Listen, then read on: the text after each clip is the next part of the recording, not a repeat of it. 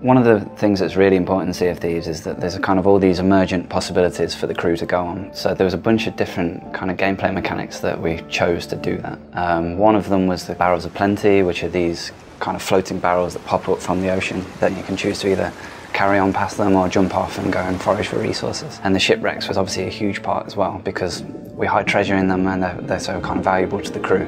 It's kind of a good thing that steers you off course. So you could be on the voyage with your with your crew and then all of a sudden somebody in the crow's nest spots like a flock of seagulls over there. And then you've got to make that decision as a crew whether you stick with the voyage or whether you veer off course and actually go towards and find out and discover what this thing that the seagulls are flocking around is. And then it comes this interesting dynamic where do we all kind of jump overboard and um, swim down to the shipwreck or do we have a split in the crew where some people go back to protect any chests that you have on board whilst the rest of them kind of dive down to the shipwreck and explore it? But i find that like the essence of sea of thieves because you've got to collectively make that decision to either all of you go down and get the treasure in possibly the quickest amount of time possible, or you take a risk where it's there's the potential for another crew to come and sink your ship, steal your ship, take the loot from your ship. Or just hide on your ship and wait for you to come back as well. Even better, hide in the lower decks, yeah. let them come back on, suspecting nothing, and then kill them all. Yeah, whilst they're putting the shipwreck chest back on the ship as well. My favourite tactic. Yeah. So, as well as the chests that we've kind of hidden on the shipwrecks, we wanted to have a bunch of barrels um, on there as well for players to forage for resources. So, even if a crew had kind of got there first and stolen the chest, there was still a reason for players to kind of go down there and explore the shipwrecks. And we added the floating resources as well, like the bananas and planks and things, because it kind of gives a sense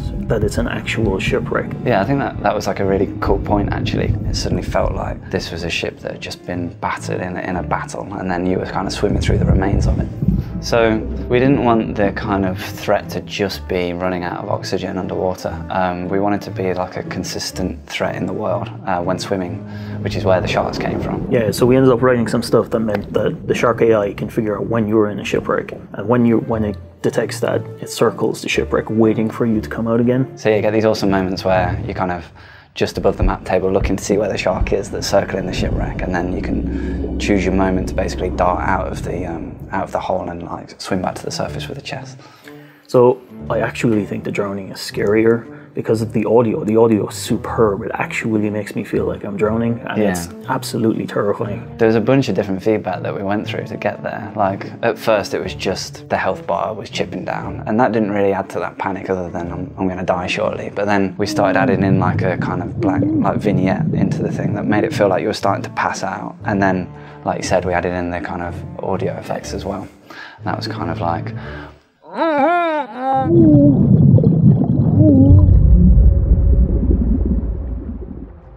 So while uh, shipwrecks, I mean, can seem conceptually simple, they offer such a vast array of scenarios that can actually happen in the game. It's they're a spectacularly good feature to have, even though they might be quite technically challenging to put in. Yeah, and the more kind of emergent mechanics that we can add into the game gives more reasons for the players to kind of go off the beaten track and discover these new features.